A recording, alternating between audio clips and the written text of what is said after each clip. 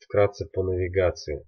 Значит, в плане, если кто-то будет более-менее что-то брать за основу из моего станочка, значит, э, вкладочка шариковые втулки и валы, ну это касательно пролом российского сайта, держатели вала, вот весь список. Сами валы шлифованные, продаются они метрами, диаметр здесь указан. Цена за, соответственно, длину, то есть длиной 6 метров он стоит такую энную сумму. Вроде бы как нехилую, но разделите на 6, цена в принципе демократичная. Подшипники к ним. Тут есть вот эти зачастую хивины, они дорогие, но это как бы то, что ищет. Я брал такие подешевле, демократичные. Диаметр, соответственно, SZ12. Он э, и получается 12 мм, 16, 20. Соответственно, следующей странице должны быть как минимум 30. То есть вот они представляют ассортимент, у них максимально ограниченная тридцатка. Значит, как искать на каком-нибудь eBay? Берете тупо, находите здесь, например. А, значит, например, ну вот давайте, э, как, который я использовал. Заходим, смотрите, здесь Z12 указано, но есть, значит, еще такой мануальчик здесь. И здесь идет, значит, расшифровочка, где что. Вот это снизу с удлиненной базой, сверху с укороченной. Просто берете, забиваете в eBay. То есть, например, SCS12UU. Бьем.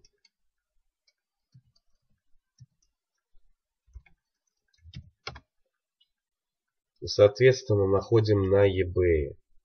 То же самое, скорее всего, под такими же будет у нас на AliExpress.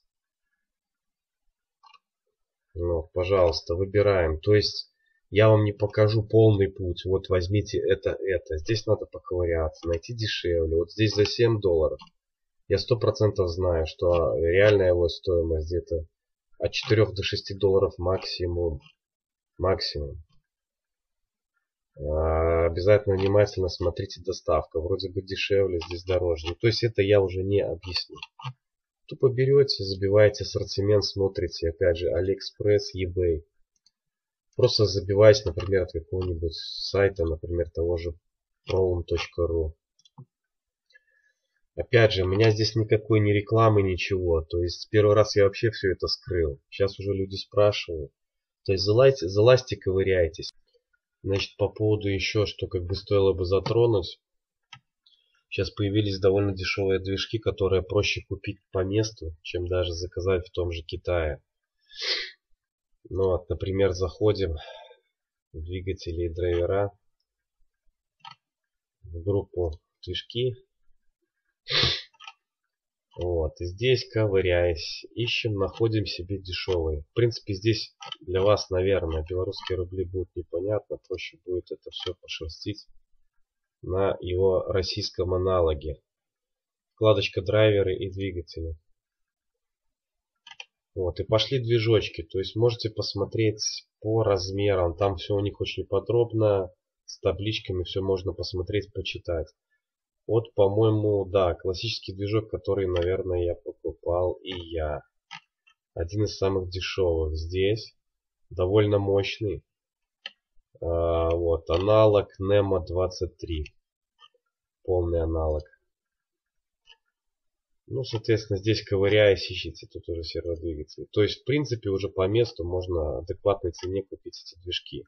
Либо, либо, значит, открываете eBay и тупо забиваете, например, Nemo 23.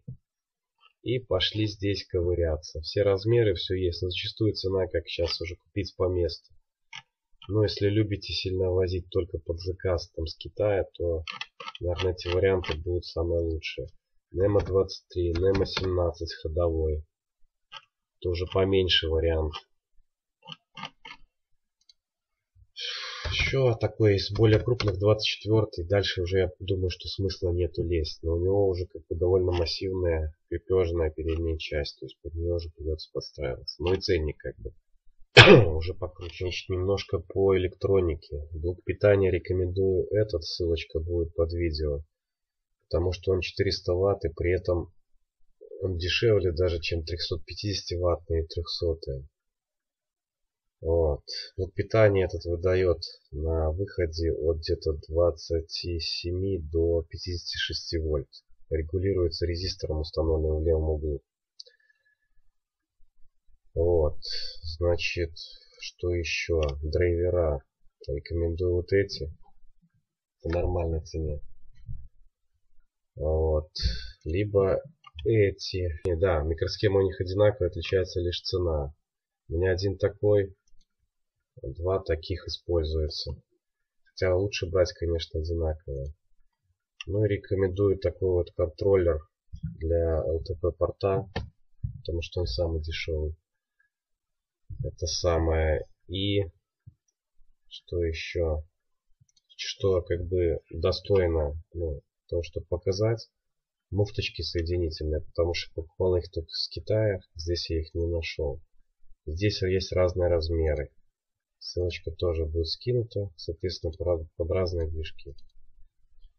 Значит, еще один вопрос, который возникает. Очень меня много спрашивали, где взять вообще матч 3, э, скачать, чтобы она работала, не горела голову, всякие такие нюансы. Вот, что здесь добавить? Ссылочку я сброшу. Можете нажать, зайти, скачать. Единственное, что файлик этот будет в доступе на неделю-две.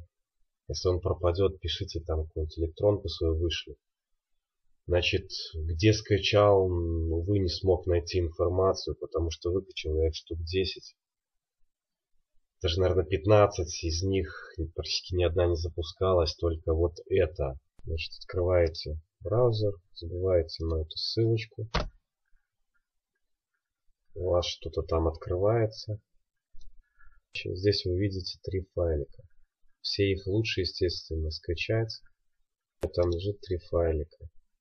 Нажмете скачать. Вот, выскочила подготовка к скачиванию. Что-то там добавлено. В общем, скачивайте эти три файлика к себе на компьютер. Так, скачиваете. У вас после скачки появляется три файла.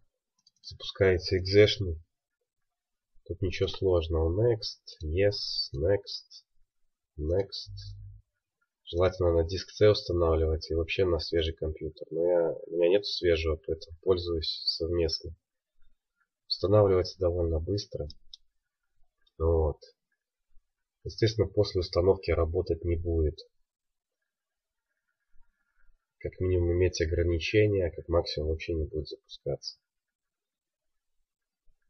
Окей. Еще немножко ждем. Убираем все лишнее, все, что не надо. Оставляем только установить драйвер. Устанавливаем обязательно драйвер. В идеале еще после этого, конечно, перезагрузиться по-человечески, но я этого не делал. Открывайте теперь диск C находите на диске C папку Match 3. То есть диск C Match 3. И копируете туда два вот этих файлика. Кстати, если вдруг автор найдется, того, ну, кто это сделал, маякните мне, я вставлю вашу ссылку.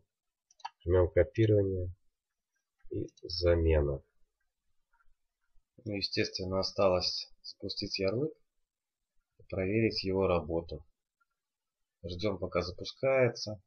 Обратите внимание, моргает кнопочка Reset. Если ее нажать, она перестанет моргать. Перестала, горит ровненько зеленым, как вы видите, так? Соответственно, работают наши перемещения вверх, вниз, слева, вправо. То есть, в принципе, все работает. Ну и еще раз нажмем кнопочку сброс, она опять же должна заморгать. Значит, все нормально. Выходим.